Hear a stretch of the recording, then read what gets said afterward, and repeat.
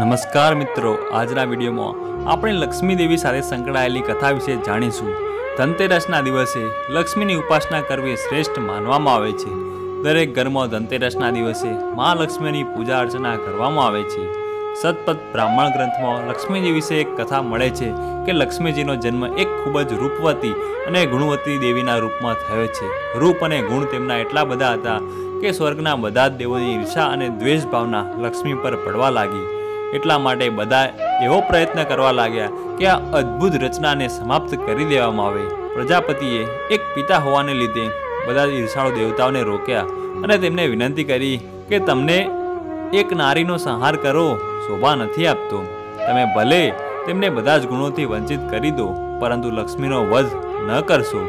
ઈર્ષાળુ દેવતાઓએ એક એક કરીને લક્ષ્મીનો વૈભવ, ભોજન, સત્તા, સૃષ્ટિ, સ્થાન, તેજ, ધન અને સૌંદર્ય પાછું લઈ લીધું.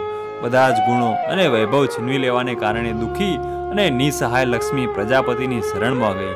ત્યારે લક્ષ્મીને બધા જ દેવતાઓને પ્રસન્ન કરવા માટે જપ તપ શરૂ કરવાની સલાહ આપી લક્ષ્મીએ આવું જ કર્યું. બધા જ દેવતાઓ પ્રત્યે યજ્ઞ અનુષ્ઠાન કરીને તેણે પોતાની બધી જ સિદ્ધિઓ અને ગુણો પાછા મેળવી લીધા. આ કથામાં સુંદર સંદેશ છુપાયેલો છે કે દરેક પોતાનું વ્યક્તિગત નિર્માણ અને રક્ષા જાતે જ કરવી પડે છે. પછી ભલે તે દેવી દેવતાઓ જ કેમ ન હોય? લક્ષ્મી પૂજન કરવા માટેની વિવિધ ધાર્મિક વિધિઓ મુજબ ધનતેરસના દિવસે લક્ષ્મીજીનું પૂજન કરવાનું વિધાન છે.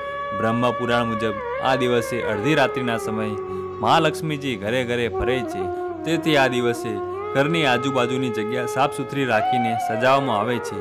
દિવાળીનું પર્વ વાઘબારસ, ધનતેરસ, કાળી ચૌદસ, ગોવર્ધન પૂજા અને ભાઈબીજ જેવા પવિત્ર તહેવારોનું મિશ્રણ છે.